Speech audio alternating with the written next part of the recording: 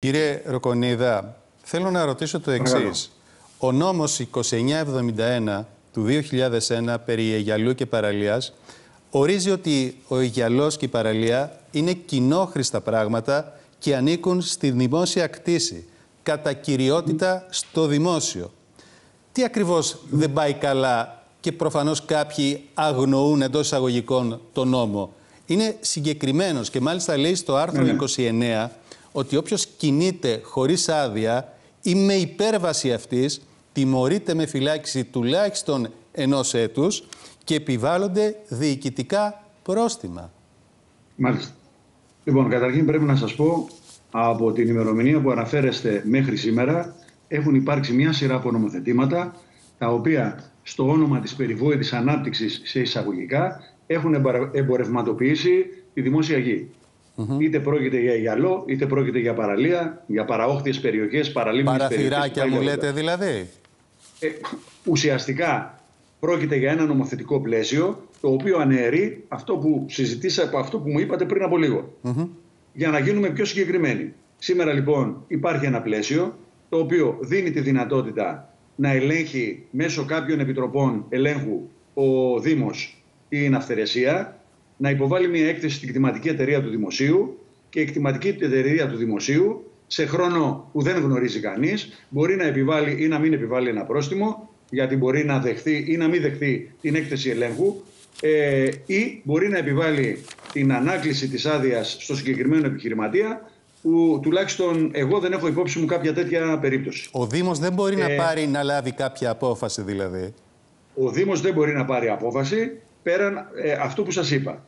Η απόφαση του Δήμου έχει να κάνει ε, όταν γνωμοδοτεί για το ποιε παραλίες ε, μπορούν να. Να φέρω ένα ε, παράδειγμα. Ε, Κάποιος ναι, ναι. επιχειρεί να απολαύσει μια βουτιά στη συγκεκριμένη παραλία.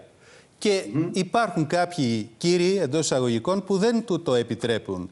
Εάν καλέσει ναι. την αστυνομία εκεί σε μια ναι. τέτοια περίπτωση, τι συμβαίνει; Θα υπάρξουν προσαγωγές, θα υπάρξουν συλλήψεις; Ε, πρακτικά η αστυνομία για να επέμβει θα πρέπει να έχει στα χέρια της μια έκθεση ελέγχου. Δηλαδή να έχει ένα στοιχείο στα χέρια της ότι ο συγκεκριμένος επιχειρηματίας ή στερείται αδείας ή η άδειά του είναι τέτοια και ε, λειτουργεί καθ' υπέρβαση. Δηλαδή έχει μια άδεια για 10, 20, 30 τετραγωνικά και τελικά αυτός έχει καταλάβει 100. Αυτό προποθέτει λοιπόν ότι υπάρχει μια έκθεση ελέγχου. Άρα λοιπόν προηγείται η έκθεση ελέγχου από μέρους των αρμόδιων επιτροπών του Δήμου που ε, με το ζόρι και κάτω από την πίεση έγιναν το τελευταίο διάστημα ε, κάποιες, ε, σύμφωνα με ανακοίνωση του Δημάρχου, σε μία, δύο, τρεις περιπτώσεις, ε, που όμως δεν γίνονται πισταμένα και κάθε φορά ή τα προηγούμενα χρόνια.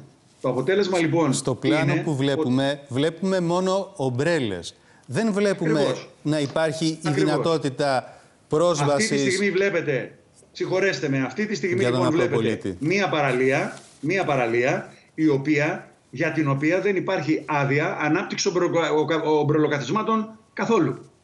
Δηλαδή υπάρχει μία παράνομη κατάληψη 100% αυτής της παραλίας χωρίς να υπάρχει παραμικρή άδεια. Λοιπόν, ποιο είναι το νομοθετικό εκείνο πλαίσιο, ποια είναι εκείνα τα συγκεκριμένα βήματα ε, που, τα, οποία, με, τα οποία όταν εφαρμοστούν τελικά θα αποσυρθούν αυτά τα ομπρελοκαθίσματα. Αυτός είναι ο λόγος που προβάλλουμε το ζήτημα της αλλαγής της νομοθεσίας. Δηλαδή, αυτά πράγματα. Πρώτον, οι παραλίες πρέπει να βρεθούν στη δικαιοδοσία των Δήμων. Δεύτερον, να μπορούν να επιβάλλονται τάχιστα τα πρόστιμα και να εισπράττονται. Τρίτον, εάν δεν επανέρχεται ο επιχειρηματίας στα νόμιμα πλαίσια, αναφερείται η άδεια. Διαφορετικά, κοιτάξτε τώρα, έχουμε την επέμβαση του εισαγγελέα του Αριού Πάγου ο οποίος φαντάζομαι να το έχετε υπόψη σας. Ο οποίος έδωσε στην εισαγγελέα πρωτοδικών εδώ Σύρου ε, τη δυνατότητα κτλ. Ε, να, ε, με τρόπο έτσι προσεκτικό και επισταμένο ναι. να δει το ζήτημα των, των παραλίων. Ωραία. Θα προσαχθούν κάποιοι επιχειρηματίες για την παραβατικότητά τους. Τα ομπρελοκαθίσματα θα αποσυρθούν ή θα μείνουν εκεί; Σε αυτό το ερώτημα ποιος θα απαντήσει; Λοιπόν, αυτή είναι κύριε, να σταθεί αφορμή αυτή εδώ η συζήτηση, η, συζήτηση, η κουβέντα, να μπει τέλος αυτή την, την ανομία με κάποιο τρόπο. Γιατί εμφανίζεται μια κατάσταση, ε, χάους θα έλεγα, η οποία πρέπει να ρυθμιστεί. Να μπουν ο τρόπος, κανόνες κύριε Σιαφάκα, και να εφαρμοστεί και ο νόμος. Ο τρόπος ακριβώς, αν μου επιτρέπετε, είναι η παρέμβαση της πολιτείας και η πρωτοβουλία της με νομοθετική ρύθμιση ώστε να αλλάξει το καθεστώς αφού όλοι διαπιστώνουμε ότι αυτή τη στιγμή το νομοθετικό πλαίσιο δεν επαρκεί για να μπορεί να αντιμετωπιστεί η κατάσταση αυτή.